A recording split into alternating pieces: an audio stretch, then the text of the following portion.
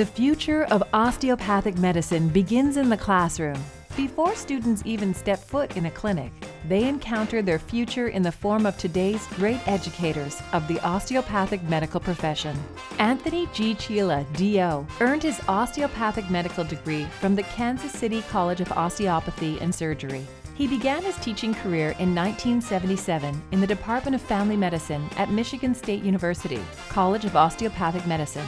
The next year, he joined the faculty at the Ohio University Heritage College of Osteopathic Medicine.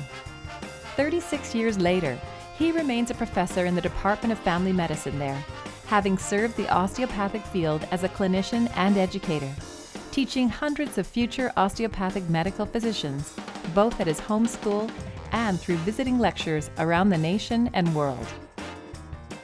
A Fellow of the American Academy of Osteopathy since 1977 and of the Cranial Academy since 2007, Dr. Chila has stood out as an outstanding ambassador for osteopathic medicine, both in the education of students and peers and in clinical practice.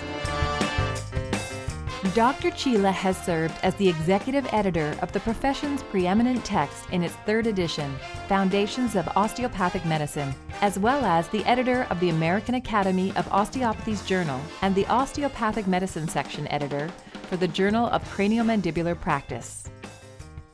Dr. Chila has exhibited his commitment to the osteopathic medical profession nurturing his pupils' passion for osteopathic medicine. He practices the Socratic method of teaching and has earned high praise from his students, who will be better physicians because of working with him. Dr. Chila has earned great respect among residents, osteopathic physicians, faculty, and colleagues he has influenced over his years in academia. Dr. Chila has continuously demonstrated his commitment to teaching and his devotion to osteopathic medicine on a local and global level the American Osteopathic Foundation is proud to present Anthony G. Chila, DO, as our 2013 Educator of the Year.